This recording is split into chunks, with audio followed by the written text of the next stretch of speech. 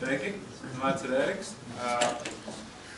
Es nedaudz arī par sevi, jo man tas tāds pavisam savādāks. Teiksim, Mikus pēc vidusskolas jau saprata, ka viņš grib būt žirāfs cilvēks, un man galīgi tā nebija. Tāpēc vienkārši gribu izstāstīt to savu stāstu, man viņš ir savādāks, un tad arī nu, jums ir dažādas perspektīvas.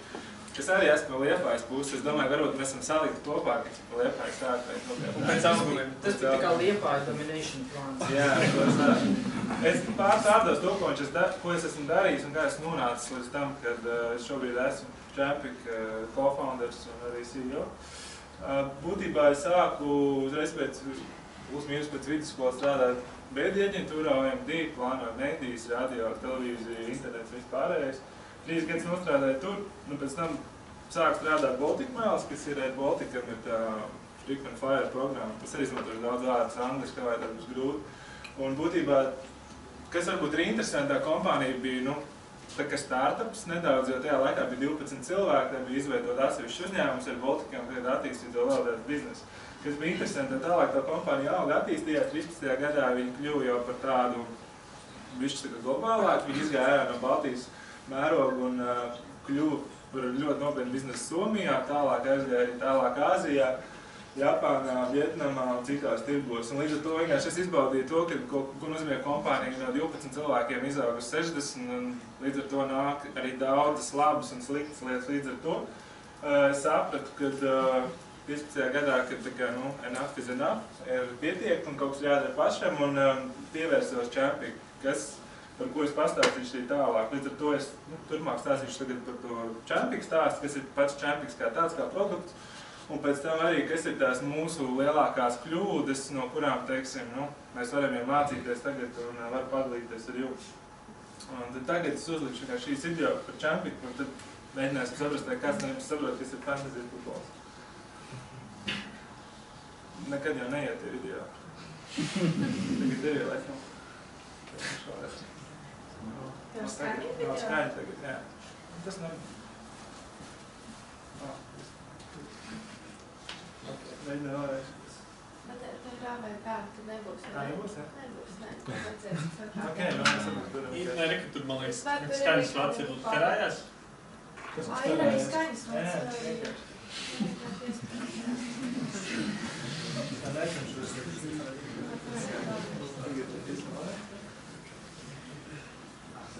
Are you a passionate football fan who dreams of becoming a champion? We have a pleasant surprise for you. Champic.com, the place where football fans around the world fight for their position in the global ranking to enter the playoff, where only the best will battle for the champion title. How to get there? It's easy. Create a team based on your fantasy football manager skills. Invite the friends you want to compete against. Follow the game action in real time. Get rewarded with virtual cash or win great prizes from football brands and become a champion. Champion.com, the place where football fans become champions. Gan ir jautājums jums, cik daudz vispār zina, kas ir fantasy futbols, sports? Ir lietas, kuras ir diezgan daudz pārsteidzošas. Tas ir uh, pozitīvi. Nu jā, būtībā tad, uh, kā mēs sev pozicionējam tam, tam kā B2C klientam, ka mēs esam Delhi Fantasy Sports platform, kur sports fans uh, būtībā around the world can compete with each other and win prizes from sports brands. Uh, Tas ir tas mūsu pozicionējums, ko teiksim, nu, mēs stāstām B2C auditorijai, bet nu, reāli, ja mēs paskatāmies, mums ir arī divas biznesa puses, mums ir B2C un B2B. Un tā B- B2B pusē mēs esam vienkārši big data management kompanija, tāpēc, ka būtībā tas, tas mūsu assets, tā mūsu galvenā vērtība ir dati. Beigās un tādēļ mums ir uh, ļoti daudz, teiksim, nu, man jāsaka šobrīd ir potenciāli klienti, jo mēs vēl neesam viņus noslēguši, mēs esam nedaudz, agri, iespējams, visagrāk, agrīnākajā fāzē no visiem startupiem šeit, bet Uh, jā, būtībā dati ir tas mūsu zelts. Un, uh, teiksim, kā piemērs, šitais ir Mikus, starp citu. Viņš ir liels basketbola fans, bet ja viņš būtu futbola fans un viņš būtu pieteicies čempikā, ko viņš vēl nav izdarījis, tad būtībā tas, ko mēs par viņu varam uzzināt ar fantasy sports spēli, mēs varam zināt, kur viņš atrodas, kur viņš dzīvo, mēs varam zināt viņa vecumu, zināt, kas ir viņa mīļākās futbola līgas, kādas ir viņa mīļākās futbola komandas, eh, mēs varam zināt mīļākos spēlētājus, pat kādas brandus viņš klikšķina un kas viņam patīk tajā platformā. būtībā tā ir tā mūsu vērtība, ko mēs varam radīt tai B2B biznesa pusē. Pāris uh, skrīni no produkta, tad šis ir, teiksim, tas pirmais skrīns, uh, kas mums šobrīd ir. Tālāk ir katram spēlētājiem profils, kur ir nospēlēti fanzī turnīri, vidējais tas fanzī punktu skaits, rankings, un šobrīd mums ir top 8 futbola līgas pasaulē. Kā produkts strādā, mēs esam saslēgti ar oficiāliem datu provideriem, kas ir kompānijas pāris lielās pasaulē, kas apkalpo visas lielās mediju kompānijas. Un būtībā mēs saņemam statistiku būtībā pāris sekundēs, līdz spēlētājs atdod piespēli, iesit golu kādā no top 8 futbola līgām pasaulē. Tālāk mēs rīkojam šādus turnīrus. Delhi Fantasy turnīrs, kur ir katru dienu datumi, var pieteikties. Turnīri var būt miksēti no dažādām līgām, un spēlētāji var sacensties par virtual currency. Un arī mēs piedāvājam balvas, tur izspēlēt PlayStation un tādas lietas. Nu jā, lūk, un beid, kā tas izskatās reāli, kad būtībā es izveidoju savus 11 spēlētājus, visām 5, 6, 8 dažādām līgām pasaulē, kurus mēs nodefinējam. Un tālāk balstoties uz to, kā man izvēlēties spēlētāji reāli nospēlēt futbola spēles laikā, es skatos, es skatīties par televizoru, kā viņi spēlē, es varu savākt fantasy punktus. Es esmu nospēlējis ļoti slikti, man ir 3,7 fantasy punktus, kritiski slikti, un, teiksim, salīdzināt ar uzvarētājiem ir 44,16. Būtībā tādā veidā tā ir kā sacensība, kurā fani var sacensties uz savām zināšanām sportā. Jo es vairāk zinu, kurš ir traumēts, kurš ir labākā formā, kurš spēlēs, kurš nespēlēs, savāc vairāk punktus, līdz ar to es varu tikt arī pie balvām. Tā, kā, nu, tā būtībā darbojās mūsu produkts. Mums ir uh, arī Viņš ir kā sociāls, kā social elements arī Facebook Connect, būtībā var spēlēt ar saviem draugiem, nav jāspēlē tikai publiskie turnīri. Nu, tālāk arī ir globālais ranks, tā kā nu, tenisā arī ir ranks, tā, būtībā mēs arī redzam visus platformas lietotājus, mēs varam apstīties rankingā, kurā vietā ir un kurš, kurš, kurš performē labāk un sliktāk. Mūsu monetizācijas modelis platformā šobrīd ir būtībā freemium package, var spēlēt pa veldi, bet piemaksājot attiecīgi pāris eiro ir iespējams daž, dabūt dažādas benefits, tur, teiksim, informācija, kur spēlētāji traumēt un tādas lietas. Vai, teiksim, lielāku budžetu, no tur izvēlēties spēlētājs. Nu, mēs šobrīd arī testējam dažādus modeļus un dažādus, dažādas features, ko mēs varam piedāvāt, un, un nu, es tā kā šobrīd meklēju optimālāko modeli, Bet šis, šis modelis strādā, tāpēc viņš ir scalable, tas, ko arī Miks runāja, ka tā, tas pats galvenais, kuram startupam ir saprast to, to modeli, viņš ir scalable. Tāpatām es zinu arī, teiksim, ka Mintas sākumā varbūt sāk nedaudz savādāk un beigās uztaisīt transition uz nedaudz savādāk biznesa modeli, kas ir scalable un, un, un ir iespējams augt. Līdz ar to arī mums ir šāds freemium modelis, jo ir Amerikā divas lielas kompānijas, kas ir DraftKings un FanDuel, viņi prasa entry fee, būtībā tur jāmaksā par spēlēšanu. Sākumā viss viņam gāja ļoti labi, bet tagad viņiem diezgan daudz problēmu dažādos štatos, jo nu, viņi tiek kvalificēti kā gamblings. Līdz ar to viņi, viņi nevar reklamēties, viņi nevar darīt ļoti daudz un dažādas lietas. Tagad mēs esam aizgājuši pilnīgi citu ceļu, lai mēs būtu scale un varētu ātrāk visā pasaulē. Pāris sarežģītie slaidi, bet lai saprastu šobrīd to biznesa modeli, ka būtībā tā spēle ir free to play ir divi dažādi fantasy turnīri, ir Delī turnīri, kur var vinēt balvas no sponsoriem un to virtuālo naudiņu, ar kuru savukārt var trenēt spēlētājs, un, protams, tā naudiņa beidzās, tad atkal var vienkārši samaksāt un nopirkt to naudiņu. Tas, tas ir tas viens veids, un mums ir dažādas tādas sezonas garumā uzbūvētas līgas, kur mēs plānojam nākamajā gadā tiešām tādas nu, ļoti, ļoti liels balvas nolaunčēt. Nu, mēs esam pat domājuši par Teslu vai kaut kā tā līmeņa balvu, pat labāko fantasy spēlētājiem nākamā gada laikā. Uh, par to B2B pusi. Uh, tā puse arī ļoti interesanta. Būtībā nu, tas, ko mēs šobrīd darām, ja mēs esam kā, kā kompānija šeit, mēs viņu varam nosaukt par holding kompāniju, tad mēs meklējam dažādas joint venture partnerships, kur būtībā mēs esam jau noslēguši trīs partnerus Dienvidāfrikā, Gruzijā un Ungārijā. Un tā doma ir tāda, ka mēs vienkārši ar viņiem strādājam revenue share, viņi ņem mūsu produktu, kāds viņš ir, promotē savā tirgu, kur viņi var pelnīt naudu no brandinga, viņi var pelnīt no, no šī premium modeļa un par to, ka cilvēki pērk to virtuālo naudu. Nu jā, lūk, līdz ar to tas modelis ir scalable. Mēs to produktu vienkārši šeit, mūs nodrošina viņa attīstību un to maintenance, un tālāk mēs viņu atdodam partneriem, un mēs šērojam vienkārši labumu un tādu produktu promotion.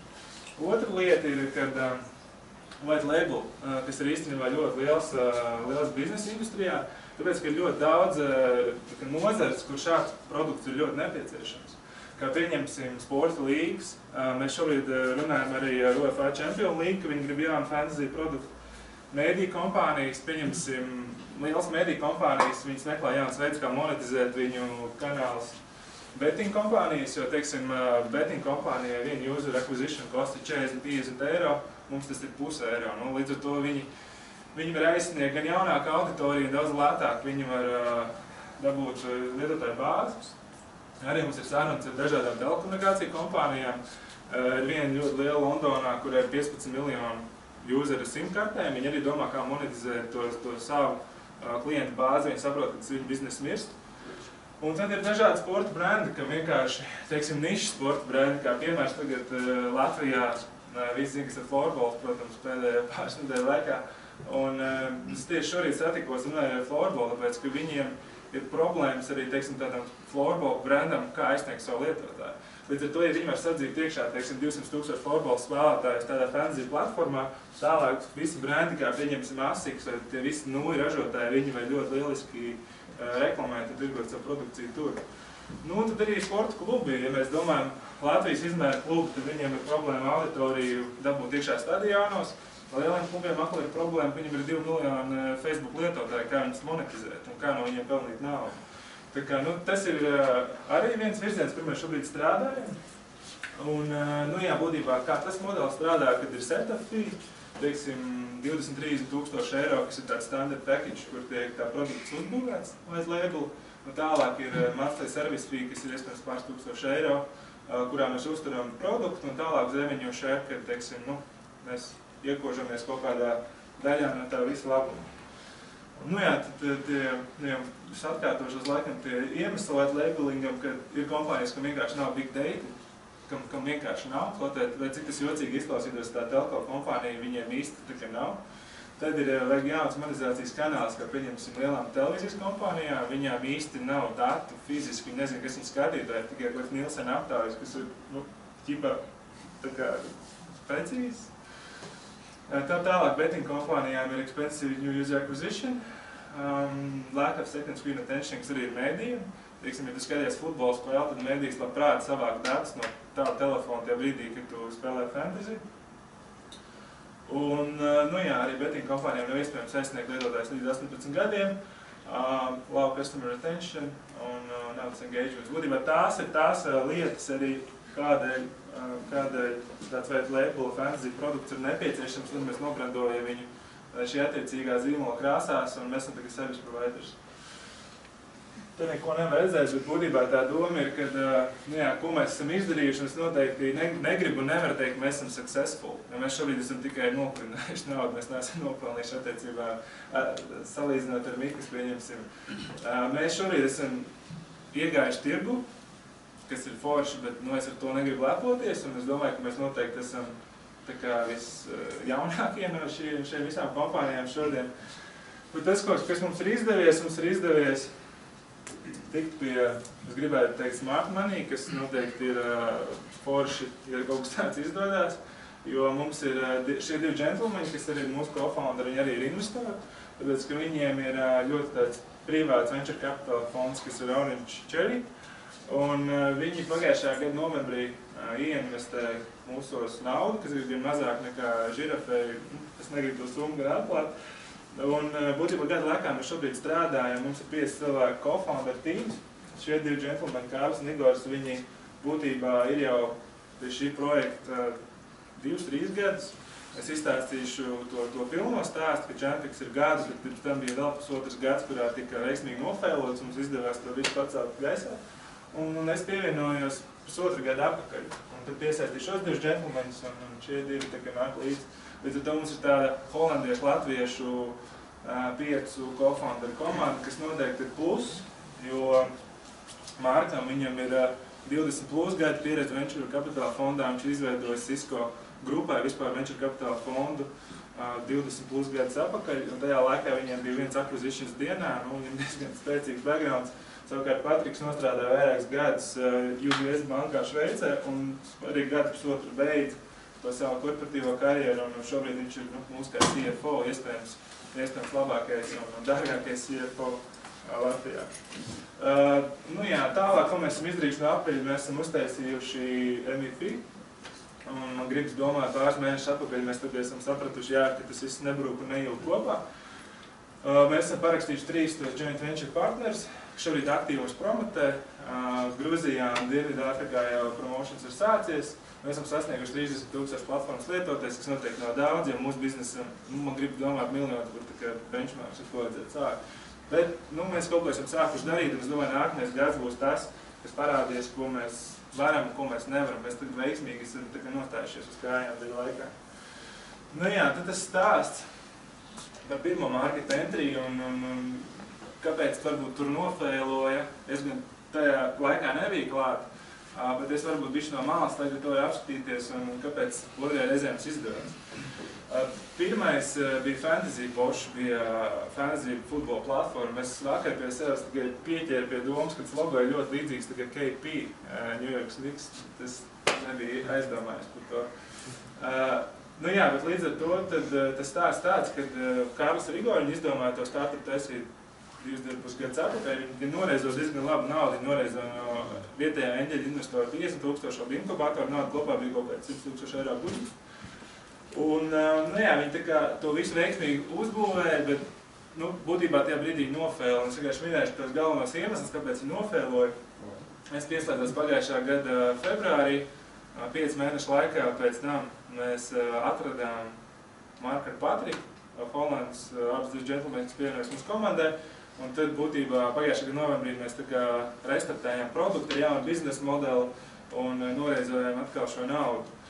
Un tad, uh, nu jā, tie galvenie learningi no, no tā faila, kad, uh, nu, kas, manuprāt, ir diezgan klasiski ne tikai Latvijā, visā pasaulē, kad vienkārši nebija pieredzes decision makingā.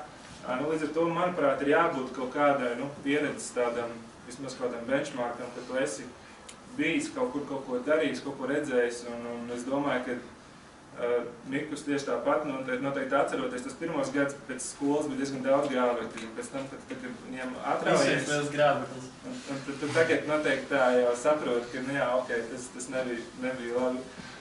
Un, uh, nu jā, līdz ar to tas, jo skejs bija līdzīgs, Džeki pēc skolas saprata, kaut ko vajag darīt un mauca, un uh, nofēloja pietrūkt pieredzes.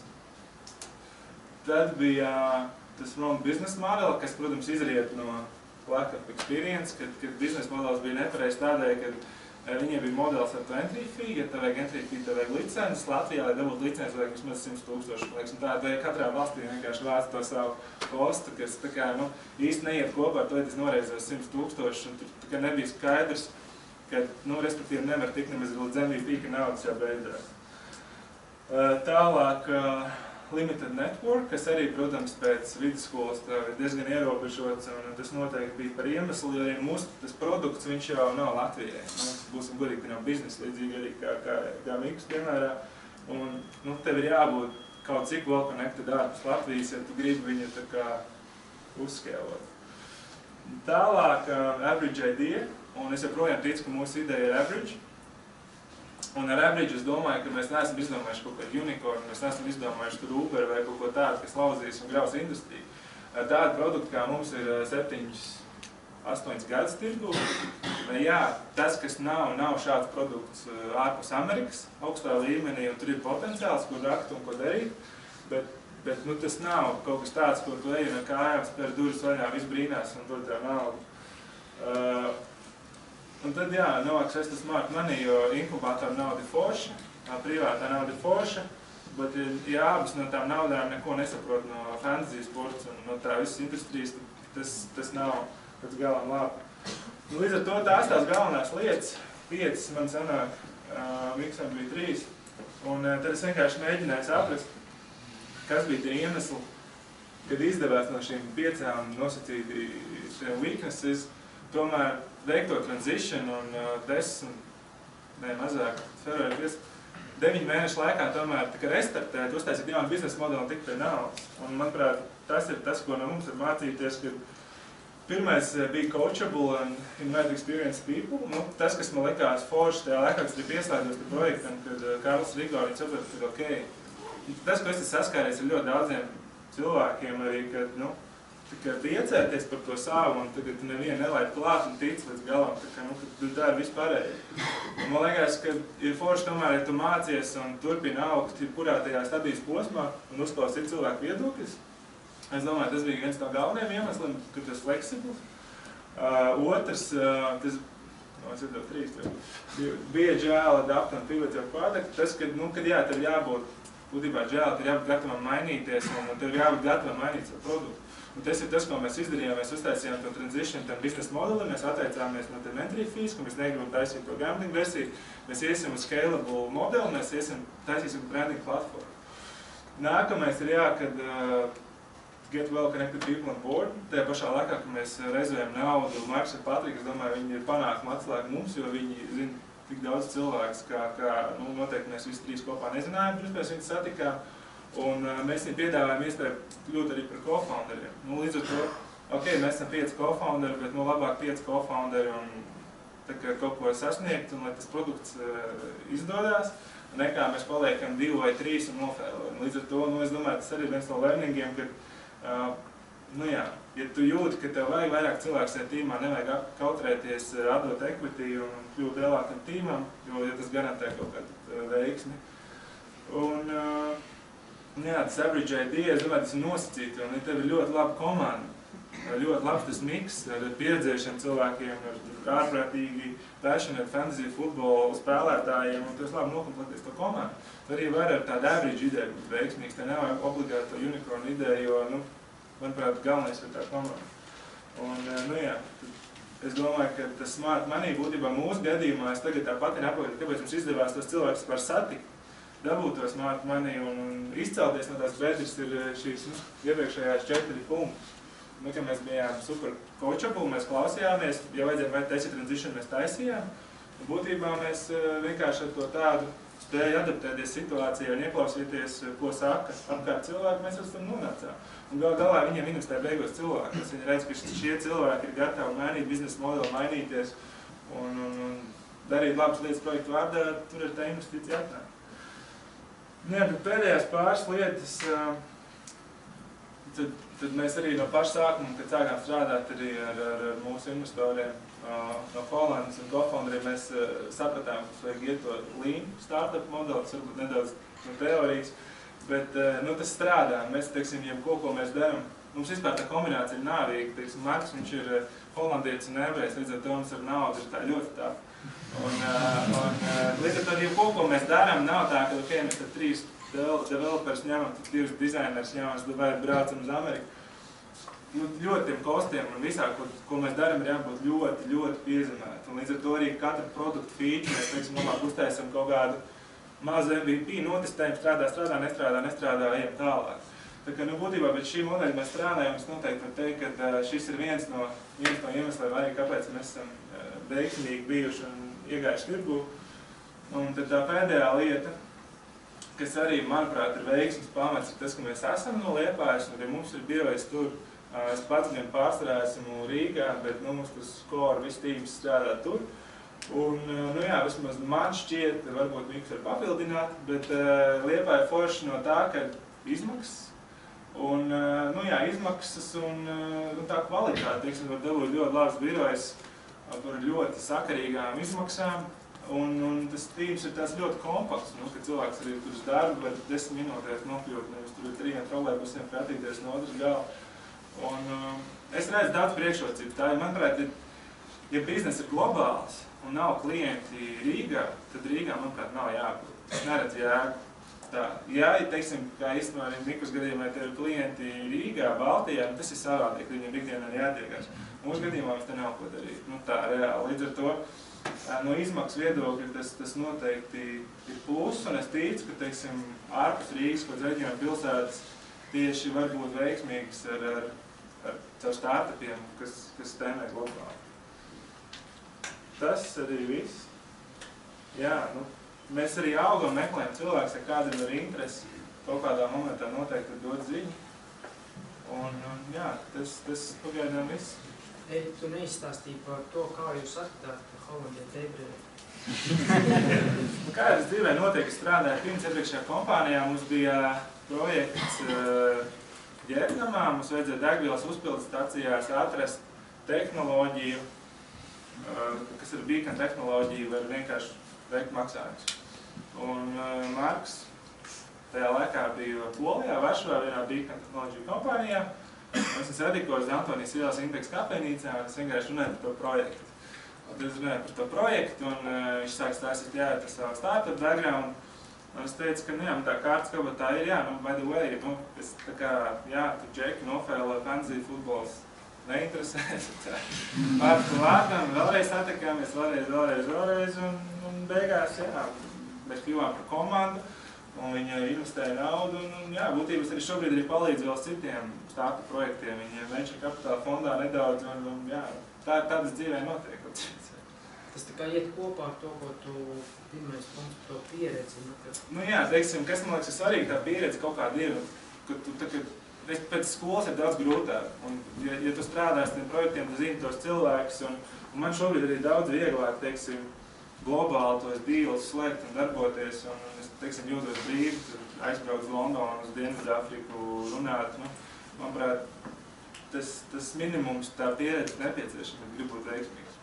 Markus Zukerberga fani tev nu, pilnīgi ienīdīs tev. Viņi taču visi saka, ka skolu nevajag pabeigt. Tad īstais vecums ir tad, kad tev pieriebās programmēšanā pirmajā kursā tur ap jauno gadu, tad jāteic startups. Es, es piekrītu, bet, ja tev startupā es tev piekrītu, ka tev var dabūt cilvēki ar pieredzi savā tīmā, vai vismaz advisor vai kādu, kas tev vienkārši parādītu, ka nu, tu spēj nepareizai tur. Es tev arī piekrītu, es vienkārši diskusiju taisu, jo... Jo tā nav mana ideja, ja kurā gadījumā es esmu pieslēdzos komandai reālāk. Tā kā es jau esmu īstenībā tas nevis īstais idejas autors vai co-founders, es esmu tas, kas pieslēdzās un, un, un viņš paradīs kaut kā tā. Sēž Rīgā. Viņš Rīgā nestrādā. Kamēr citi kapā. Pāris minūtes, pāris jautājumi, tad teisim pārtraukumu. Man divi jautājumi. Vai sistēma šobrīd ir paredzēta, lai lietotāji var nopelnīt? Ne tikai jūs, bet arī paši lietotāji, un otrs, vai jūs paši fanojuši par futbolu? Jā. Pirmais jautājums ne, pir, par to lietotāju pelnīšanu ne, jo tas mūsu biznesa modelis nav scalable. Tas, ko mēs uh, apsveram, teiksim, uh, šobrīd mēs runājam ar vienu kompāniju īrijā, kas saka, jā, re, mums ir licence, re, kur ir futbola līga, davai, jūs tagad varat to savu produktu mums uztaisīt futbola līgai, mēs iedosim licenci un, un darbojamies. Tādā modelī mēs esam gatavi to piedāvāt, jo tas nozīmē, ka tad mums nav jāmaksā par licenci, viņa vienkārši ir. Uh, bet tā globāli pašam Champion.com nē, jo tad mums nevaram iet nevienā tirgu, mēs nevaram reklamēties, tad mums ir uh, penalty fee, mēs reklamējamies bez licences un daudz problēmas. Otra lieta par futbolu, jā, mēs uh, būtībā visi esam spēlējuši un mums patīk futbols, izņemot Patriku, laikam, kas ir finansists, kas ir piedodams. Tas Nīderlandietis. Tas jā, tas tā kā tas monopola cilvēks. Bet, jā. Man ir jautājums, tajā pirmajā reizē, kad sanāca tas tēlis, un tie investori, kas bija devuši naudu, tad pirmajā reizē viņiem ir vēl kāda sasaist šobrīd ar kompāniju, vai viņi tā kā pilnīgi galva? Juridiski nav, mums ir vienošanās, ja mēs būsim successful, tad mēs tā kā norēķināsimies ar nelielu uzviju, jo, jo tas eņģeļa investors un otrs bija inkubators, kas neskaitās, un, un tad tas uh, eņģeļa investors ir daļai arī kā draugs. Līdz ar to, nu, viņš kā apzinājās investēt startupā, viņš to naudu ir pazaudējis, bet, nu, cik mēs tagad restartējām, mums ir vienošanās, viņš dabūs ar uzviju, ja mēs uh, veiksmīgi ekzitēsim. Bet ja nē, tad, tad nē.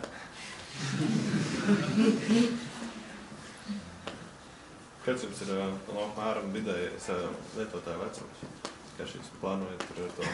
Kā notārgetē Facebookā tā ir. Uh, bet uh, nē, nu, 15, 25. Nu, tas, un mēs arī skatāmies to, jo tad mums vienkāršāk ir monetizēt uz, uz betting kompānijām. Viņiem tas vecums nedaudz lielāks. Un, un mēs redzam vispār, ka tas ir uz to white label skatoties, tas, tas ļoti organiski. Mēs varam uzbū, uzbūvēt to bāzi, kam patīk sports un, un gamings.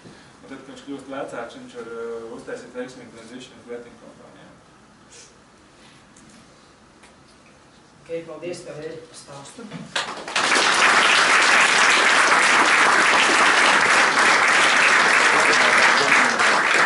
Nē, joprojām salā, un naudu, jā.